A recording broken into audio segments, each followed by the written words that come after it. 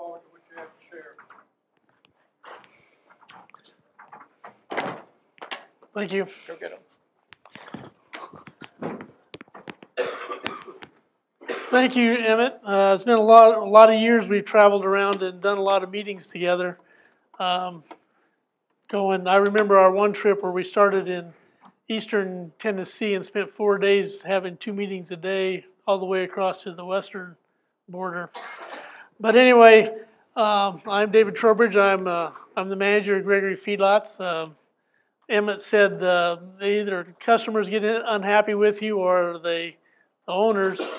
I've survived that, but I've never had anybody offer me big money to go somewhere else. So that, that that's the one thing I've been looking for, but I haven't got that. Um, I'll give you a little bit on Gregory Feedlots. We're a 7,000 head uh, commercial feedlot. We feed about 90% of our cattle the last 10 years anyway have been uh, custom fed cattle.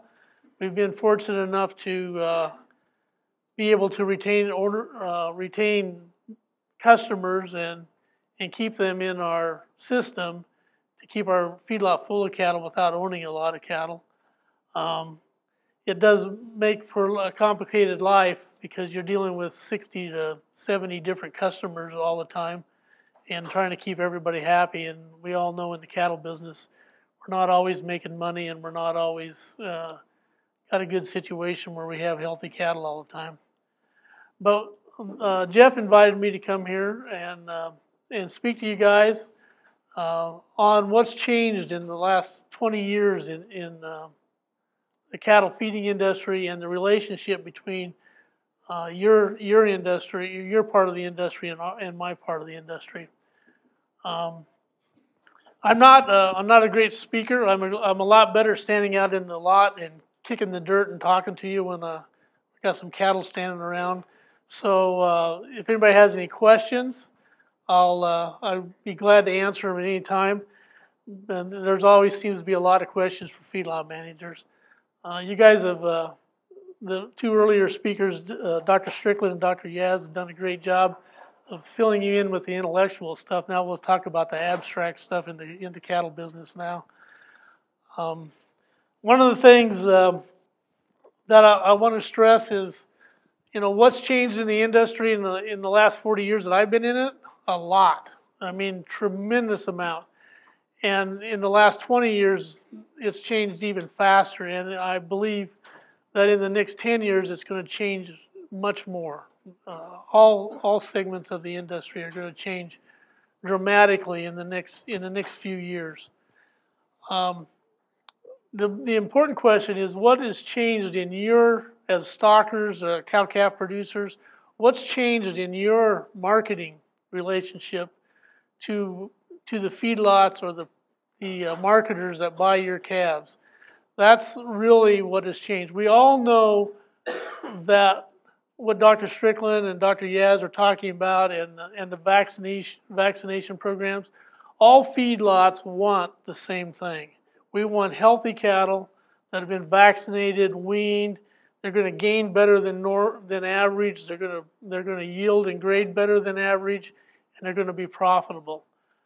That hasn't changed in 40 years. We're all very interested in that, and we're that is a big part of what you guys do, and that's a big part of what the entire um, beef industry relies on is for the cow calf segment and the stockers segment to produce those kind of animals for the feedlot industry, and that has not changed. I, we, uh, I was talking to someone earlier here. We have better drugs, we have better vaccinations, we have a lot of things going on there that are so much better than they were when we started. But if you look at the industry today, in the feedlot industry, our percent pulls in the feedlot industry is exactly the same as it was 40 years ago.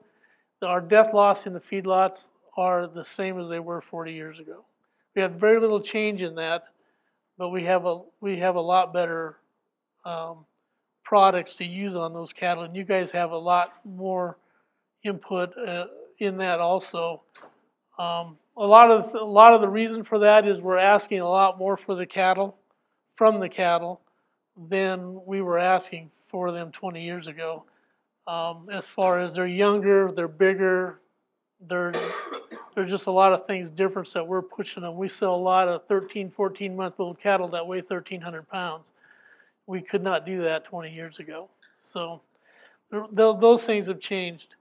So I think the, the big thing that we have to look at today, uh, as far as your relationship to your to where your market is, and whether your your profitability is how you're going to make money, because that's the bottom line in this industry. We have very small margins, and we're we're all trying to make a living. Um, and we love the we have a great passion for our industry, and we do this because of uh, of our passion. Most of us don't do this because of the money that we're making to to uh, um, build a big a big bank account. But I, I do believe that your relationship to me and to, to whoever you sell your cattle to is probably the most vital uh, profitability thing that that is is available to, that you need to know today. You need to know where the cattle go when you sell them and what the purpose of that is. I, I, tell my I tell my producers all the time before you buy a bull, decide where your calves are going. What's the purpose of your operation? Before you buy that bull, decide where that calf is going to go, what the purpose of that calf is. And that's going to determine more of your profitability than any of your health programs, your management programs, or anything, determining where your market is going to be. I, I know that I don't have very many slides here, so I, I, I don't have all that information. But um, you know, in this industry, I'm the past president of the Iowa Cattlemen's, and I've learned more in those two years as as president elect and two years as uh, the president about the cattle industry. I know that in this room right here, I could bring up about four or five topics, and we could split this up by like Republicans and Democrats on different topics and different things that people have opinions on. And the the thing that I I pushed for, for all these years of, of being in the leadership was the fact that even though we have divisive issues like if I, you bring up traceability or you bring up sustainability, you bring up uh, uh, COOL. That's a big hot object, uh, thing right now again. Um, people have different opinions on that, but we're all in the same industry, and we need to we need to uh, be able to compromise and work on those issues and make things work together because we're too small of an industry. We know too many people. I mean, there's actually people here that I know that I've worked with over the years, and I I can go just about anywhere in the country and run into people that I know that we've worked together in some in some form because we're such a small entity of people, and we need to work together on all these things. And that's kind of what I, uh, if I push the right button here, that I uh, I want to go talk about next is in traditional the segments of the cattle industry. We start out you know, with your seed stock producers. They're producing the genetics that's going to affect all of us for several years every time we buy a, a some genetics from them. And that greatly affects the cow-calf producer. Then you have the uh, the backgrounder and the, the grower the next. Comes around to the feedlot, the packer, and then the consumer. And over the last 40 years, we've had a very adversarial relationship between each one of those. Each one of us is the next guy is trying to steal our money or they're not producing what we want them to produce. And we've gone, we've gone through this whole cycle of uh, of adversarial relationships. And to, to really make this all work together, we need to have a relationship between each one of these segments because your relationship with the consumer is much more than you realize.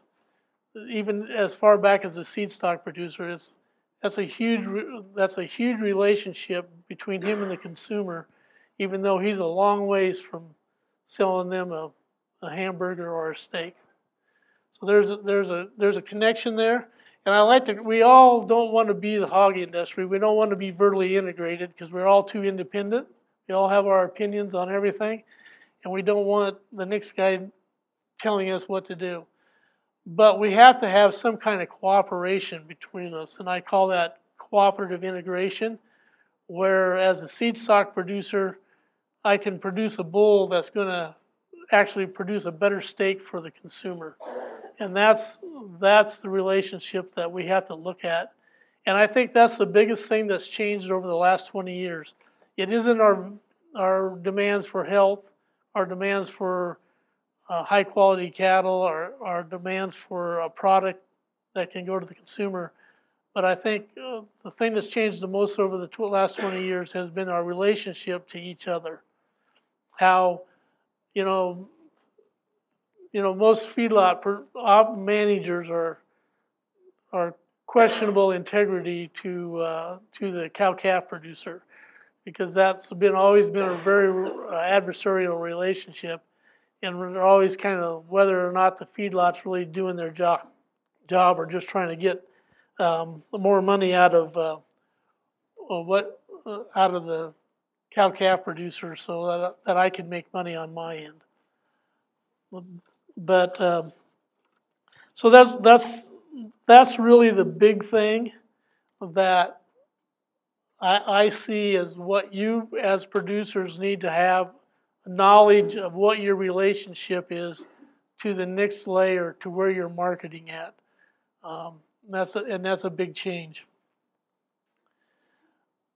In in my industry, in the in the in my segment of the industry, there there's a lot of gray to white to black in in the gray area, but we really have two business models in the feeding industry.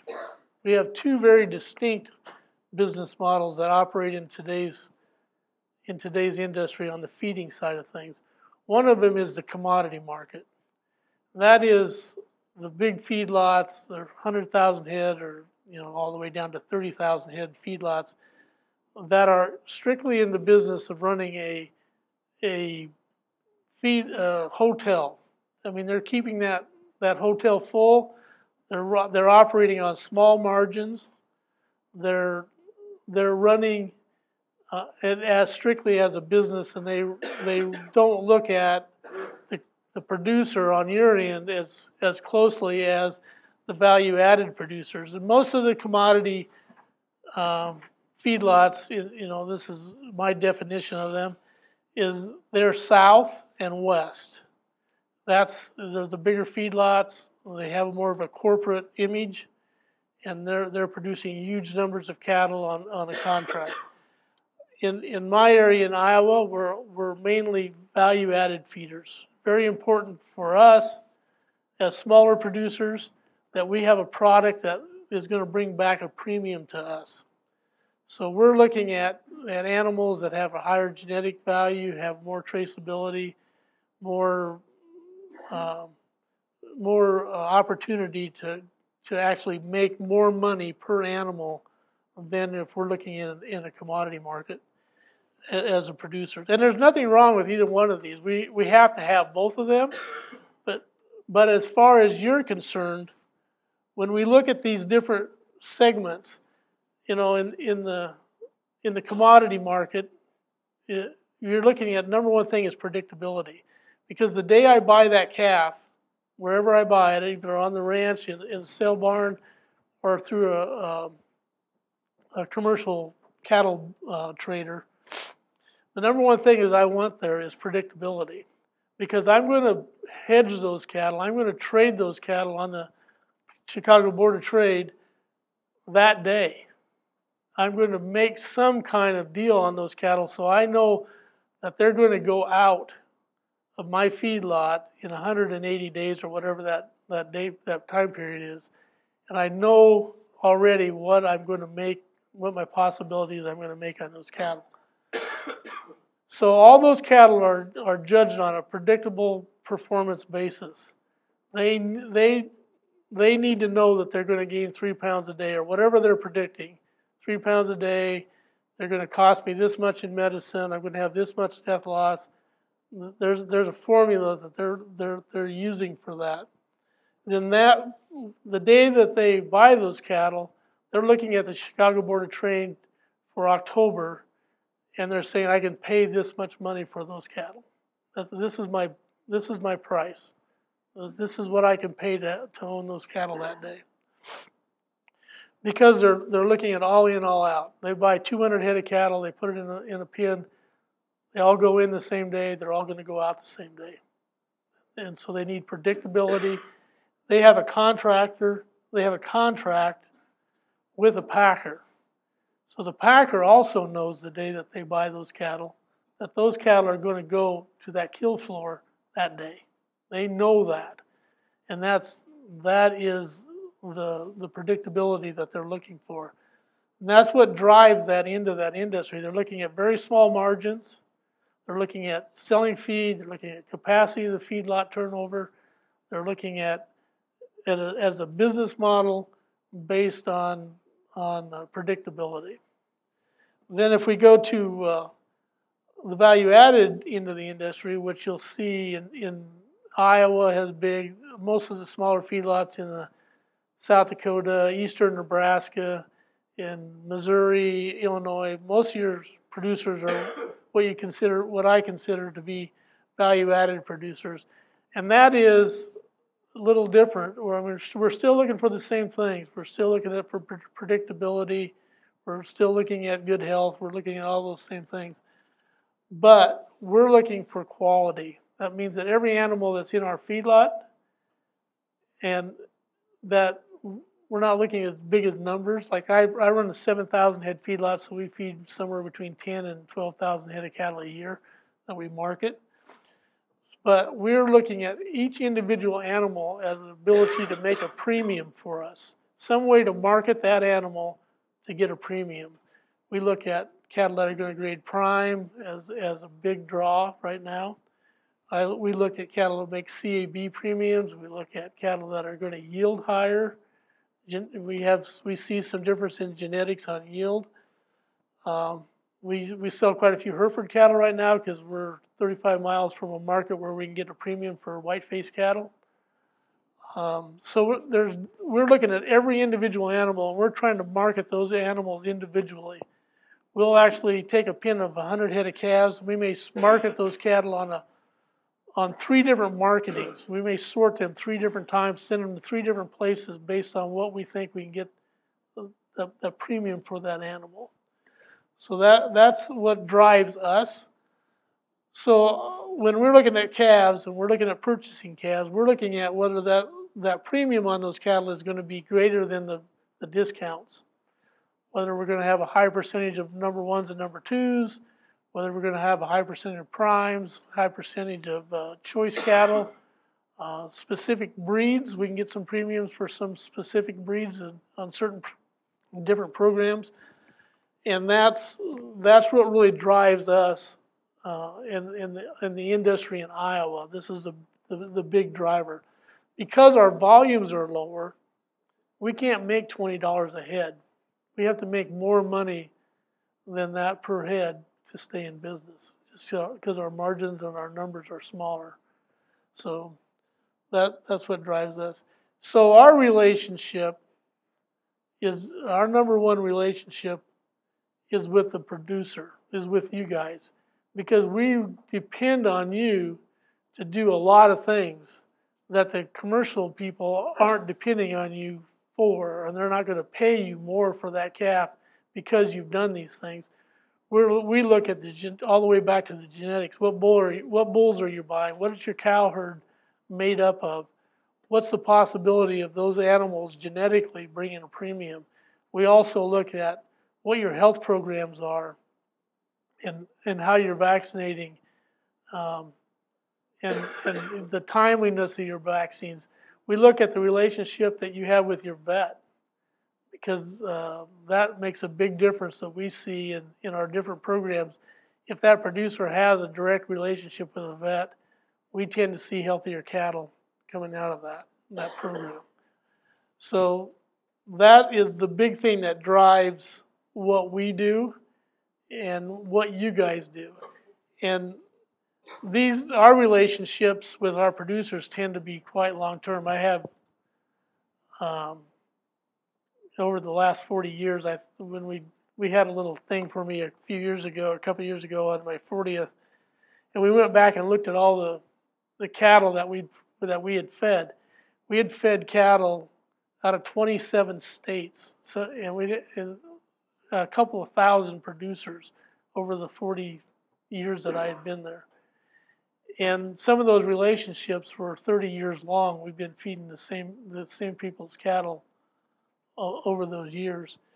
And one thing we do at Gregory Feedlots and through the Tri County, the group that uh, Emmett was talking about, was we put back a lot of data. We give you guys back a lot of data so that you can use that data to make improvements in what you're doing. You're looking at your different sires, your different cow breeds, your different uh, vaccination programs. We've gone all the way back to looking at different pastures for producers of different grass types of how those cattle are, are doing on different management programs. So we, we offer a lot of that information back, and that tends to make our relationships really last because we're getting they're getting some value out of us, even though we don't always make money. Uh, you know, in this industry, not every year we're going to make money, but we're giving them some value back so they can look down the road to see where the future is for their relationship in marketing those cattle. The value added producers tend to look at those cattle and are willing to pay a little more money for them. And I think the last couple of years we've seen that in the marketplace. If you go look at sale barns and uh, in private tr- trades, you'll see that those cattle that have the genetics to be able to produce those premiums and and are able to show better health programs and those things, um, they're bringing a little more money now as, as feeder cattle than they were 20 years ago when cattle were cattle and they're the same. I, I think what I'm tr- trying to say here is you need to know whether you're producing commodity cattle or you're producing value added cattle. Because if you're in the commodity business and you're selling cattle and you're not worried about where they're going after they leave your place or what uh, what they're going to produce, you can't afford to go spend eight thousand dollars for a bull or do all these extra things that are you know, the traceability aspects of the value added you have to know where you're where you're at and what your market is so that you can produce a financial program that's going to allow you to be profitable. So, and if you're in this business where you're paying more money for genetics, you're doing traceability things, you're keeping track of health records, you're doing all the things that are necessary to produce a calf that can come to the feedlot and do 30% prime and, and bring back $120 a head premiums over the market then you have to you have to know that you're doing that and you have to expect to get more money for those cattle.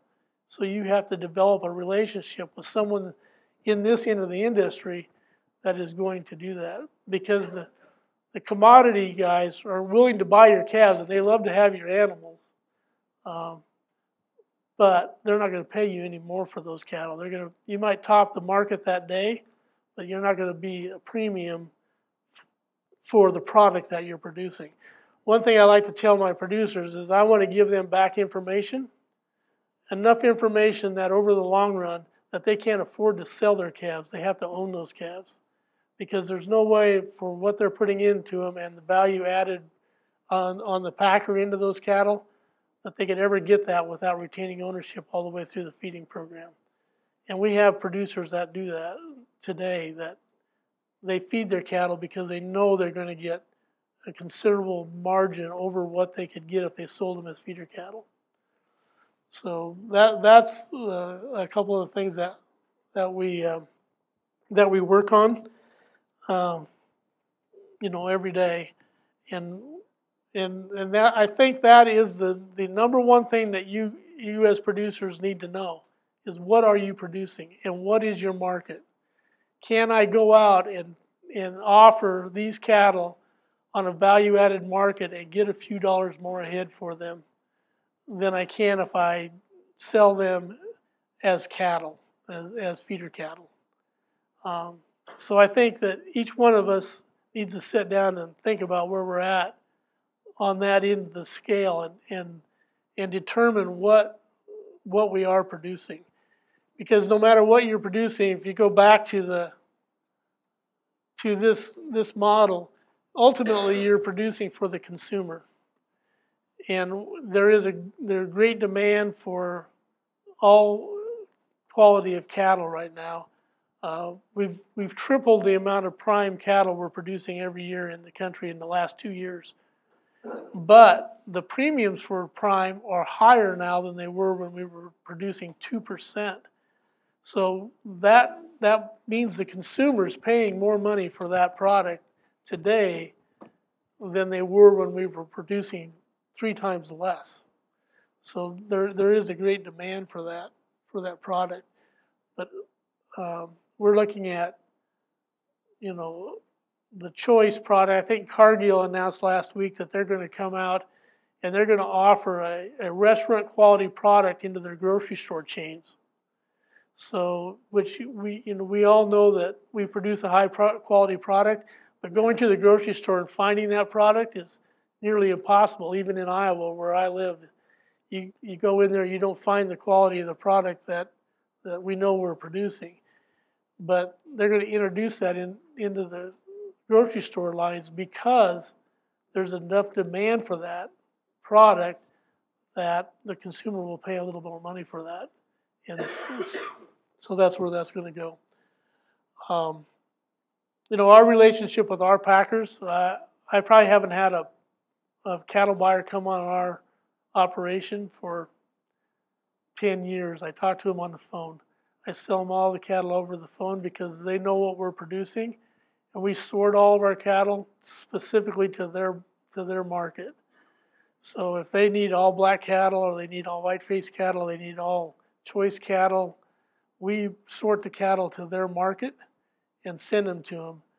And so our relationship, which is in normally has been very adversarial between the feed the feedlot operator and the packer, is is very tight. We have a a very good relationship with our packers because they know what we're going to produce for them and what we're going to send to them. And that's a that's another thing in, in the commodity end of the of the business of the feedlot industry.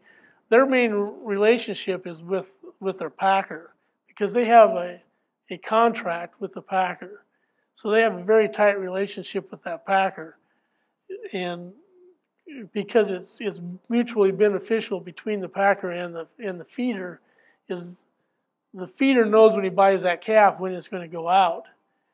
And the packer knows when it's going to when it's going to be on his in his plant. So that is a very controlled uh, relationship there. And one of the big things that uh, we've been fighting for i don't know if any of you have went to the NCBA meetings San Antonio this year. Um, one of the one of the big things we've been fighting for for several years now is more price discovery, which means more negotiated trade in the feedlot industry, where we're selling cattle live. We're actually talking to the packer and establishing a price, rather than the formula deals that are between the the big feedlots and the and the packers. So that that's a big issue between Iowa and, Texas right now is 60% of the cattle that go out of Iowa are negotiated trade, so all that's reported every day. What what if I make a deal with the packer, it's, it's reported, and so you you can look at that, or anybody can look at that. But when the when they trade cattle in the South, when they deliver cattle in the South, that's not reported because that's a negotiated, that's a it's a contract, so that's private private business between the the feeder and the packer. So there's there's a big fight going on now to make that information available every day. What is what is Cactus Feeders or Five Rivers? What are they getting for their cattle in the industry, which would be more transparent? Um, not that we're going to know uh, what those individual contracts are, but at least we know what the what they were getting. If they're getting two dollars over if I negotiate trade today for a dollar ninety, and then their contract says I get two dollars more than Iowa negotiated trade today, we, we would like to know that. And that so that but that's part of that deal in between them, And that's a very important part of the cattle feeding industry because without that, the demand for, for feeder cattle would be a lot less because those guys feed a lot of cattle, you know, huge amount of, of cattle that are fed through, through that program. And then if you go back to the value added feeders, you know, my main relationship is with the producers. I have a great relationship with the packer, but I have a very important relationship with you because I depend on you to produce the product that I have to have to make money to to stay in business. So those are some of the things uh, that I think that that you really need to to look at in your operation and makes make decisions um, about you know where you're at and, and what you're doing. Um, you know, like I said, we we all demand the basic things. We want good, healthy cattle that are going to perform and do well. You guys all know that. You've all known that for 40 years. That's what feedlots want. You know, we want healthy cattle, vaccinated, weaned. We want everything to be perfect. But the thing that has changed is that the commodity market is not going to pay you for the extra inputs that you put into your into your animals to make them have more value. And and the value added guys aren't going to come back and buy your calves if they don't grade, if we have health problems with them. You know, those are the kind of things. If we can't get a premium for them, we're not going to come back after those calves because we have to have a premium to to make that work. So the, the most important thing for you guys to stay in business is to figure out where you're what you're marketing for. And I can guarantee you that if you're spending extra money, I, I just talked to a producer in, in Arkansas the other day that spent $12,000 on a bull to put in a commercial herd. And he's asking me if that would pay. So you're sitting there going, not unless you figure out some way to get more for those calves. You know, you've got to you've got to figure that out. So if you're going to put the extra inputs into those cattle, you have to figure out a market to be able to to return that for you. And you're you're probably not going to get that just taking those calves to to your normal weekly sale barn and selling them if they have special sales, the livestock marketing people in Iowa really started doing a lot of special sales where they'll bring those calves in and that have value added and have special sales. Those cattle are bringing more money at those sales and and there, there people are in there that are buying them for that value added market. So those those are the things I got. I don't know. I don't even know how long I've been talking, but but uh, uh, I, I I'm really a lot better at answering questions than I am at talking. So if anybody has any questions, I would certainly answer them on any aspect of the feedlot industry that that you might want to ask. I would certainly. We, we have some time uh, for question and answer, and uh, it'd be very productive. So if anybody wants to kick off, if you want to repeat the question. Okay. Yes. Where, where your location is in your feedlot, what's your rainfall there? Is your feedlot undercover? We're we're an older lot. The, the question is where we're at, and do we have covered lots, or and and where our weather's like. Uh, we I think we're 37 inches of moisture a year where we're at. Um, we we normally our average snowfall is 18 inches. We're not we're not like northern Iowa that's covered with snow all winter. We're pretty much brown. Um, our lots are old. We've been, I mean, I've been there 40 years, so it was there before I came. Um, so the, we're outside. We have uh, pretty good slope on our lots to keep the mud down. Um, we're, D, of course, DN, DN, DNR uh, approved, so we have EPA and DNR, the Iowa Department of Natural Resources, monitors what we're doing. Um, so our our conditions, we can we can have mud and we can have winter. Last winter, 43 years I've been doing this. Uh, I told if we had another winter like that this year, I was retiring and I was out of there because we had the worst winter we've ever had. We had we had a kind of a Kentucky Tennessee winter to start with. November, October, November, December, we were in the 40s, and we had 11 inches of rain in December. So we had mud, knee deep mud, the, that uh, whole time. And then in January we got extremely cold. and had 54 inches of snow. And then um, February, I, I was just looking at a picture on my phone from uh, February 24th last year where I went down. I was Sunday morning. I was going to feed, help feed. Uh, we had a rain the night before and snow, and, and it froze that night.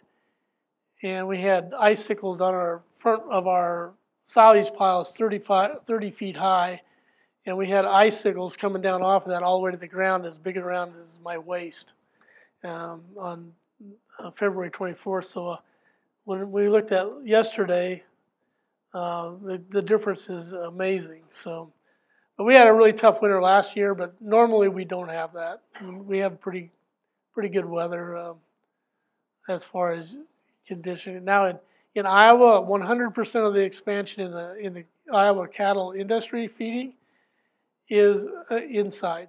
It's all confinement barns. Almost all of it now is uh, rubberized slats.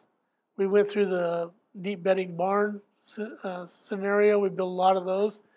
Uh, Iowa is the only state uh, in the last five years that's actually expanded the feeding feeding industry in both uh, under under a thousand head feedlots and over five thousand head feedlots.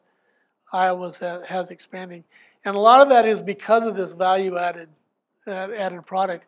We can buy really good cattle. I tell you, we can buy really good cattle everywhere. We can buy and we feed a lot of cattle out of Florida that are really good cattle that will grade and do the things that we need to do.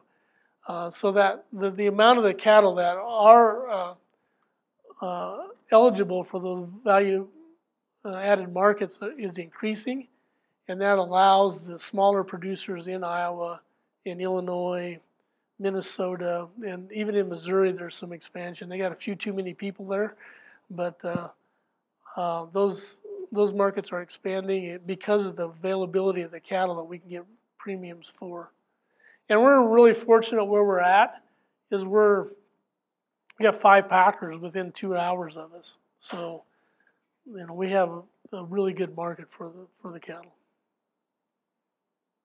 David, I'm going to take uh, moderator Liberty here and ask a question. Yep. Uh, explain a little bit more about the price discovery issues uh, in different regional uh, areas? Uh, you know, I guess that that has so much influence on the rest down the chain uh, to us what we do in this area. Uh, maybe just a little bit more about what the issue is, but uh, some of the proposed solutions. the- I wish I knew what those solutions were. Yeah. Uh, price discovery is, is super complicated because none of us want to be told what to do. None of us want to be told how we're going to sell our cattle.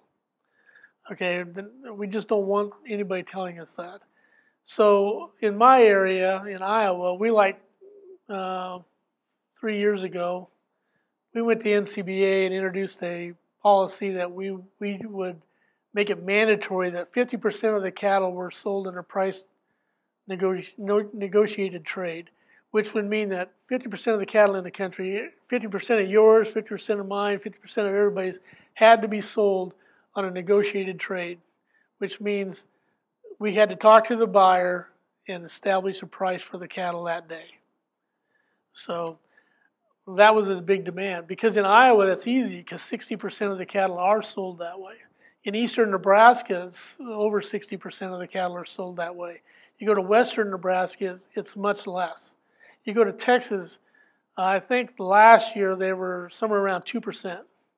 2% of their cattle actually had a price. The rest of them were all on contracts. They were all uh, packer feedlot uh, agreements, and those cattle were delivered, and no one knows what that price was except the packer and the and the uh, producer. So the, the big issue is is why are the producers in Iowa establishing the price for fat cattle for everybody, which ultimately affects you guys because that determines the feeder calf prices. So uh, there's there there's been different things trying to get to the point where there's more trade trade availability, you know, information Um, and so one of the things that was passed was this uh, the cattle that are that are traded on contracts. That information is available, but it's delayed and it's very convoluted when you look at it. If you look at the at the trade on the USDA marketing reporting stuff, that information is on there, but it might be a month old. And what they proposed this time, and it passed, which was a miracle that it passed. When you're when Texas, Kansas, Colorado can control most of the uh, voting delegates, um, it did pass uh, that they're going to look at. The USDA still has to approve it, but NCA is going to push it. That those contract trades will re- be reported that day whatever the packer kills, they get those cattle in. Whatever they're paying for those cattle will show up uh, right along with the negotiated trade. So you will know that if the cattle in Texas are bringing two dollars more than the cattle in Iowa. So that that is some of it. There's been a lot of things tested, but even when when when when I was carrying them to the NCBA uh, for the Iowa cattlemen, there were some things that, that I didn't like because I don't want someone telling me how to do my business. If I can make more money negotiating a contract with a packer, I want to be able to do that. But I can also see the other side where where you're a small producer isn't going to be able to do that, and they need to know what the market is. Emmett? To what extent do you see uh, integration of feedlots back into the stocker business, trying to tie up cattle long before they get there? Yeah, it's it's happening. The bigger the bigger producers or bigger feedlots are are doing it. They've done it for a long time. Adams Adams Land and Cattle out of uh, Broken Bow, Nebraska, has had a very complicated network of growers throughout the Midwest, bringing cattle in and growing them for them, and that, so that their feedlot they never want to miss a day. If you've got a 200 head pen, you want that pen to be full of cattle, 200 head every day, and uh, that's very important to their business model, and uh, they have to sustain that. But you know, I, I hate to be Sonny Perdue and get up in Minnesota and tell uh, the dairy people that uh, if you're not going to grow, you're probably going to get put out of business. Uh, but there is going to be um, more types of integration in the industry as long as our margins are so small. If if I, what I say, you know, I, we were in, we're in the hog business also in our operation, and I saw the, the sows go away, the, the reproductive herds in in Iowa go away, and everybody says, well, that's because you know the big companies got into it and they can afford um, to spend more money on it. But what I say is that if I'm profitable, no one's going to put me out of business.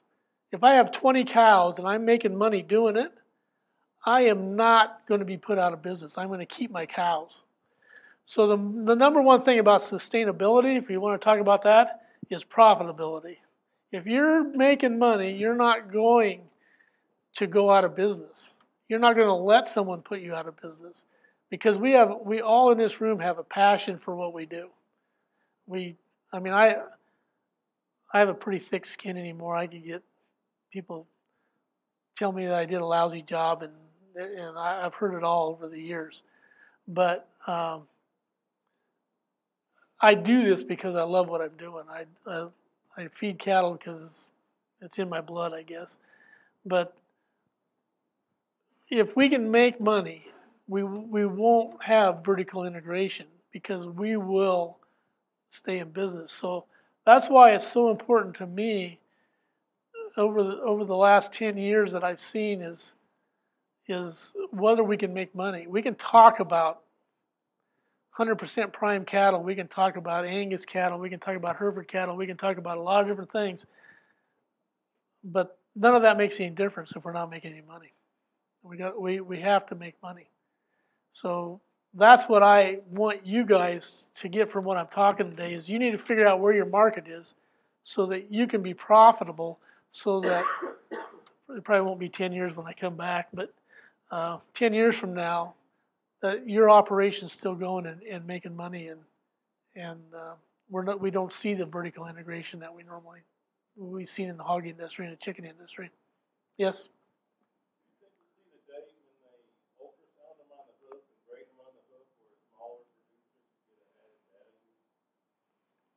You mean on the fat side or the? Yeah, yeah, marbling and fat and kind of a I tell you, there's a lot of technology coming. There's a lot of technology. I I've been talking to an outfit out of Iowa right now that wants to put an X-ray machine in your in your uh, chute going up to your handling facility, and then when that calf walks through there, it'll take an X-ray of that lung and tell you whether that calf has pneumonia or has any lung damage. And they're they're willing to do that for two dollars a head. They're working on the technology to do that right now. So there's, you know, there's amazing how much stuff you, you, that you got. So Take uh, one last question right over here in the middle. please. As a custom feeder, what percent of your cattle are retained ownership? well, the last four years we've been almost 100 percent. You care to share anything about cost to the producer on charges? Well, I yeah, I'm. I'll tell you what we we charge 15 cents a head a day. Uh, that's a yardage, and then we we mark up the feed $19 a ton. We use uh, dry rolled corn, high moisture corn, uh, alfalfa hay, uh, some silage, um, of course a supplement, and we put those in. And we mark them up just enough to cover our shrink, which is like one percent. And then we put $19 a ton on that ration when it goes to the bunk. So if your cattle are eating, you know, like normal consumption of like 36 pounds a day, your cost, your, my my net that I'm going to bring in is somewhere in the mid 50s, be 55 to 57, depending on if they're eating 30 pounds or they're eating 40 pounds. And then we have a one dollar chute charge for every time that calf goes through the chute. We charge one dollar, and that's it. Uh, we don't mark up the medicine. We don't mark up anything, and, and we're kind of unique. And Emmett can tell you this that uh, uh, as a small feedlot, we have a contract with a with a local vet clinic. We don't have a needle or a bottle of medicine on our operation. All this, all of our medicine and our treatments come from a vet. They they come up. We uh, we autopsy, autopsy every calf that's that dies. So we have a vet that diagnoses everything on every calf, and uh, we have a contract with them for so much a cc uh, for the products. So I get to share that every day. So whatever whatever it is. Do this, uh, through the Tri-County Steer Carcass Futurity, the closeouts and the amount of data you get from it is unbelievable. It's it's rarely ever, when I was working with Mississippi State, rarely ever did we a miss on carcass data or, or any of the, you know, cost gain, feed cost gain, it's just a great breakdown. So, uh, David, really appreciate you being here today. Oh, thank you. David, a round of applause. So, Dr. Rollins, if you'll make your way up, we're gonna have Dr. Rollins, ask a blessing over the, Thank you. the- over the lunch, have a couple of announcements, don't be just yet on lunch, but one thing is that, uh, Dr., uh, Lane and, uh, Kevin, is, uh, will meet, uh, board, board, uh, here. Get out of my pocket. Uh, vendors, uh,